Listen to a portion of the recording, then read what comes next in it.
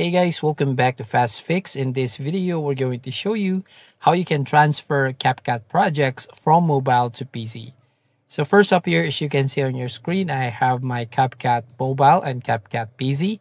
So first, make sure that you sign in with the same account. And then if you want to share a project from mobile to PC, here on your mobile, tap on the three dots beside that project right from here at the right side. And then just tap on backup and from here select the space where you want to upload your video and then tap on select right here.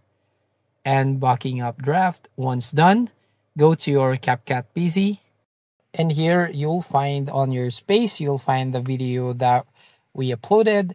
And here you can basically download so you can use it your CapCut PC now if you want to transfer project from PC to mobile you just need to select the video and right click and then click on upload. And then once done uploading to your space, basically check your mobile. So open up your mobile and then tap on the cloud right there at the top.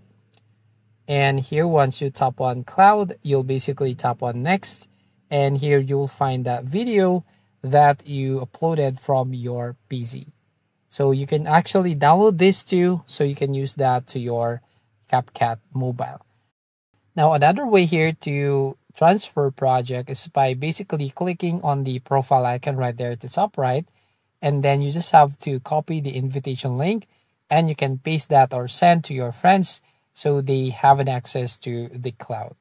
So that's it. That's how you basically transfer CapCut projects from mobile to PC or PC to mobile. So if you find this video helpful, please consider to like and subscribe to the channel. And don't forget to hit the notification bell to notify you on the next video.